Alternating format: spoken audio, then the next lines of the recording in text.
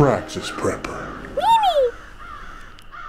Hey everybody, this is Praxis. It's a really clear night right now, but there's no moon and it's a little difficult to look off into the shadows, especially when I have a light right in my face. One thing when you're moving through the woods or anywhere uh, during uh, you know a dark time of day is if you're using a flashlight, that works great for your immediate area and wherever you shine it, you're going to be able to see you know whatever you're pointing it at, but you really sacrifice a lot of your peripheral vision by having that flashlight again kind of blinding you because your eyes adjust to that and everything around you gets really really dark.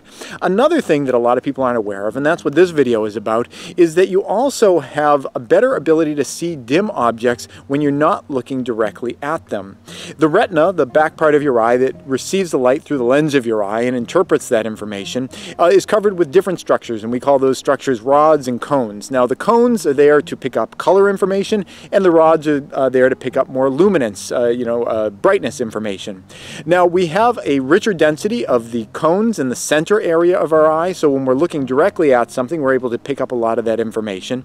But uh, off to the sides, we have more of the rod structures. So if you're having trouble seeing something, when you're looking directly at it, it may be because that light is being focused on a section of your eye that has a lot of the cones and not as many of the rod structures. So if you want to uh, pick up something that's kind of dim in the night, whether you're looking up in the sky, trying to pick up a star, whether you're trying to look at an object, like the other night, I woke up at about 3 in the morning, there wasn't much moon out, and I saw that there, well, I was looking out some of these windows right behind me, and I saw that there was something moving around in the landscape around the house. It looked like it was a, a couple of deer, but when I looked directly at them, they just vanished into the darkness. It wasn't until I looked slightly off to the side that I was projecting the image of the deer onto the sides of my eye, uh, on those those areas that are more rod rich and I was able to see uh, with a lot more uh, clarity of light uh, you know what was actually going on there. You can really play with it if you uh, you know go out at night, look at something that's very dim, look directly at it, and you'll see that it kind of disappears. And if you look just off to the side of it,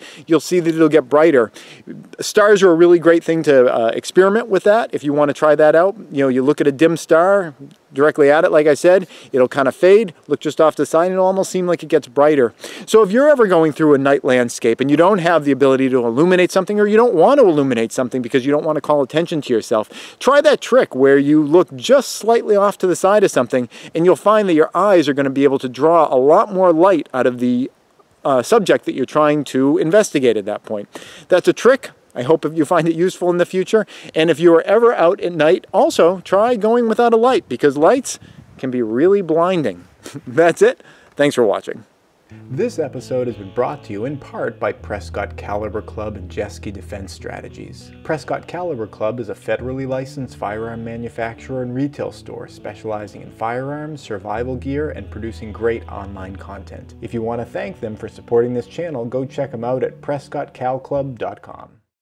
Please subscribe and tune in every Friday at 4.30 New York time for a new video. And if you'd like to support this channel, you can do so both through Patreon or PayPal.